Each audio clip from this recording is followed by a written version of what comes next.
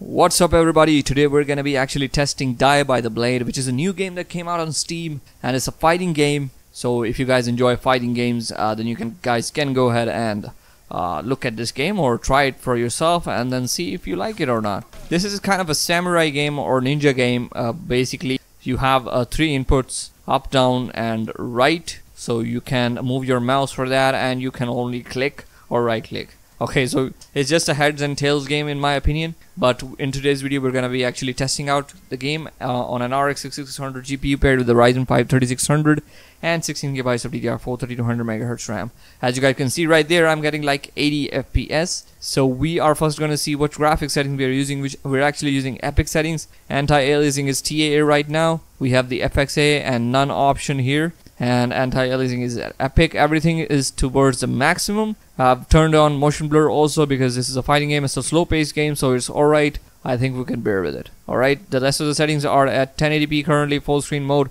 VSync is turned off and 100% resolution scaling. So let's head right into it. We're at epic settings. At 1080p we get like uh, close to 80 FPS most of the times. Let's start counting the frames here. Uh, looks like this game this is a fighting game but it's not frame uh, dependent okay? So some of the fighting games that usually come out have a dependency upon the frames. So they usually just uh, give you 60 fps most of the times okay?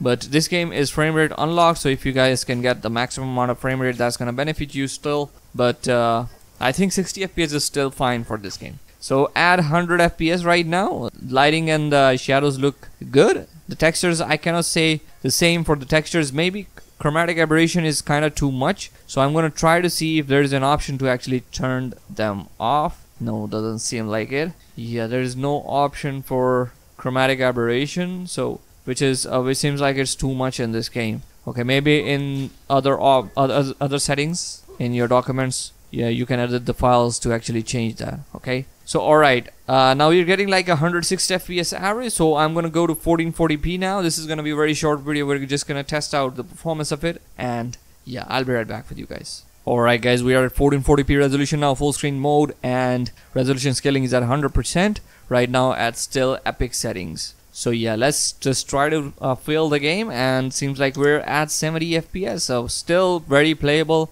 the game looks uh, kind of more sharp than 1080p that's a given that's gonna happen. But uh, still the textures uh, uh, of the of this character of my character are still not very good looking in my opinion. Uh, comparing them to other games like Tekken 8 and Mortal Kombat 1 and Street Fighter 6 they seems pretty they seem pretty outdated these textures and these graphics okay? So that's all right we're still getting 70 fps average. Uh, let's try to move backwards uh, if I if my character can actually dash or run no doesn't seem like it. And uh, yeah. So looking at this arena from this point like from afar I can see that the FPS is like dropping into the 59 58 55 most uh, sometimes it's dropping there. So it's still pretty good looking and it's still very uh, the frame rate is still very good so it's not an issue. Yeah so getting 67 fps average. Now let's go to 4k and let's try the settings there alright guys we are at 4k resolution as you can see right here and VSync is turned off 100% resolution scaling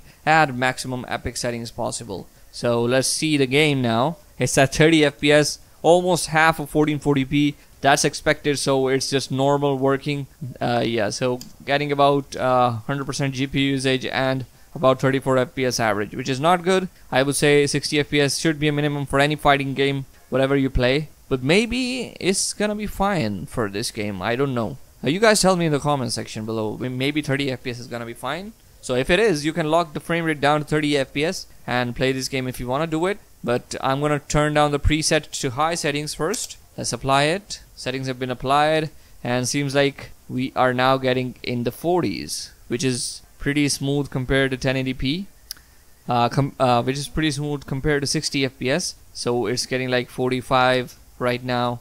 So if I start counting the frames it's gonna be staying in the 40s I think. Let's go back try to move our camera back. Get a get a wider view of this arena and uh, let's see if we get some difference in performance. Yes indeed we do. We get into the 36 37 so yeah. Let's turn the settings down further. Let's go to medium settings now. Let's apply this. And seems like medium settings with a wider view is giving like 70 to 80 fps at 4k although I can see that the, uh, you can see the shimmeriness on the ground there. The this these wood textures and wood lines are kind of like uh, waving around when I'm moving my character. So that's not very good. Maybe they have changed the maybe with the preset has actually changed the anti-aliasing settings also. Yeah I think they have uh, I think the settings do change that yeah.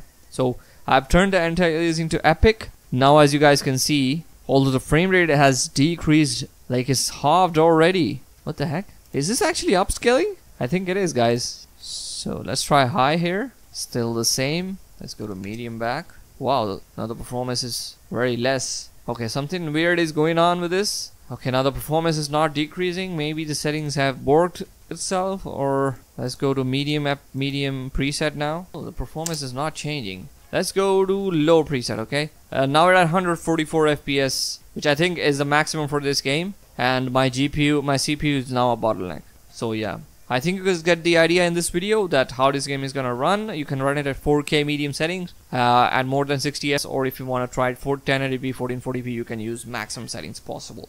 So it's very easy to run. You can easily play the game on this on these specs and this hardware. Yeah, so I hope you enjoyed it. Please like, subscribe to the channel for more content and I will see you all in the next one. Bye bye.